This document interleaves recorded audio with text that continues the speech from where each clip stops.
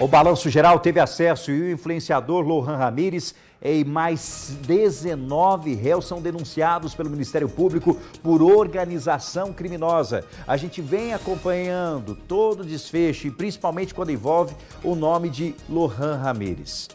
Você que está acompanhando o nosso Balanço Geral, você que está assistindo a nossa programação, só o Balanço Geral teve acesso a essas informações. Só o Balanço Geral teve acesso a essas informações. Você fica sabendo aqui, aqui em primeiro, sabendo tudo. Vamos entender toda essa história e o que a polícia, o que o Ministério Público está investigando em relação a essa organização criminosa. Que crimes estariam sendo praticados? Carolina Barros conta tudo. Vários crimes, viu, Rafael? E como você disse, 20 pessoas sendo investigadas, 20 pessoas são alvos deste novo processo. São, além do Lohan Ramírez, que é um dos principais réus, outro que é apontado, inclusive como chefe da quadrilha, é um dos principais réus neste novo processo, é o acusado Marcelo Gonçalves. Ele já foi alvo de várias investigações do GAECO durante as operações né, que investigam a operação Diamante de Vidro, por exemplo, que é quando ele foi preso juntamente com a esposa. De acordo com a Promotoria de Justiça, a apuração mostrou a ligação de Marcelo com Lohan e também com os demais réus que compunham uma verdadeira rede de movimentações financeiras ilícitas planejamentos de crimes, são vários crimes, como você mencionou, Rafael: tráfico de drogas, extorsão, receptação, estelionato, lavagem de dinheiro, entre vários outros. Durante essas investigações, a promotoria utilizou uma ferramenta de inteligência artificial para destacar as ligações entre os investigados e as transações financeiras que eram feitas entre eles. O Marcelo ainda é tratado na denúncia como banqueiro do crime, porque ele é acusado de financiar outras quadrilhas também. O GAECO apurou que ele utilizava as contas bancárias de comparsas, que também eram responsáveis por constante movimentação de veículos de luxo, no intuito de ocultar com esses veículos o verdadeiro patrimônio da facção criminosa. Esses valores transitavam entre as contas de todos os denunciados.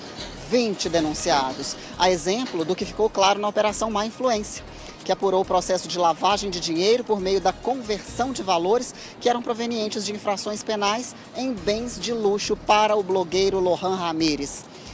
Vale lembrar que parte desses réus da organização criminosa, incluindo o Marcelo e o Lohan, também foi investigada na Operação Eríneas por planejar um atentado contra agentes de segurança aqui da cidade de Uberlândia. Quem não se lembra desse fato, né?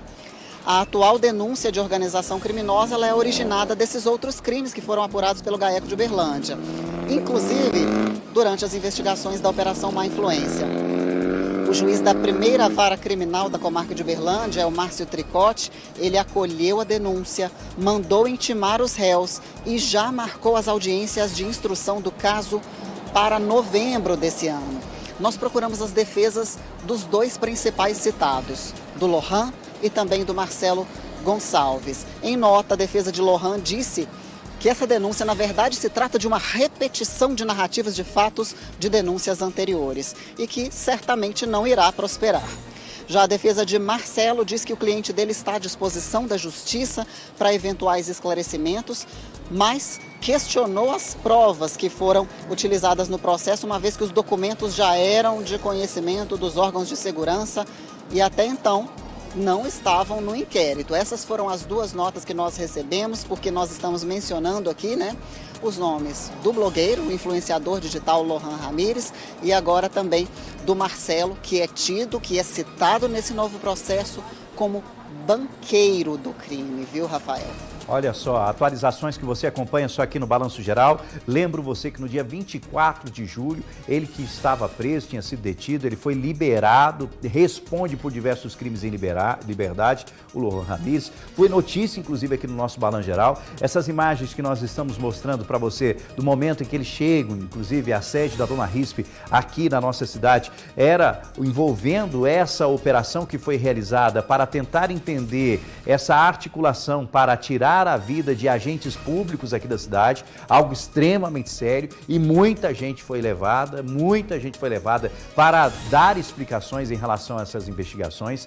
mas eu lembro que essa situação já é uma situação nova, que o Balanço Geral teve acesso só nós e estamos trazendo tudo para você, amiga amiga que acompanha o nosso Balanço Geral. Tendo novidades, a gente vai acompanhar no, ao, no decorrer do dia, a gente para tudo para informar você que está ligado junto com a gente.